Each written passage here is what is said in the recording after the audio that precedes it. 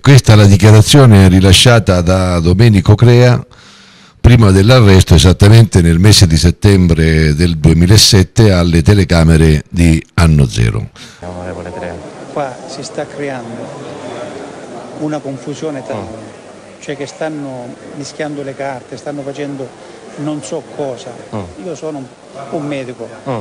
un direttore sanitario, non è che io sono un delinquente, come Intanto l'inchiesta onorata sanità va avanti, ci sono altri sei rinvii a, rinvii a giudizio, saranno processati con rito ordinario mentre sono state prosciolte delle accuse 12 persone.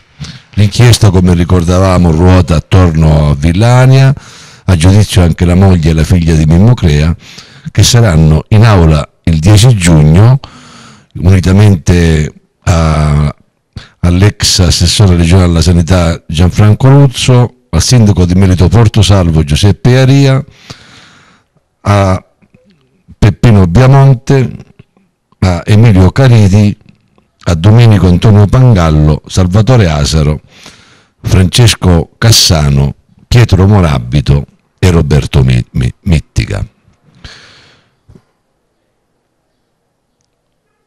sei rinviati a giudizio sfileranno in aula il prossimo 10 giugno, giorno in cui riprenderà il processo a Mimmo ed Antonio Crea, accusati di associazione a delinquere di stampo mafioso.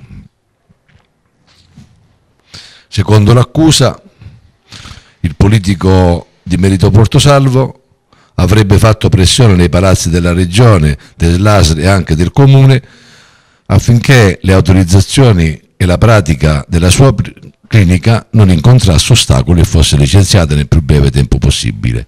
Ed è proprio per questo motivo che è stato rinviato a giudizio anche il sindaco di Merito di Porto Salvo Giuseppe Ialia, colpevole secondo l'accusa di aver eh, concesso, di aver dato la concessione edilizia e i certifica- i relativi certificati.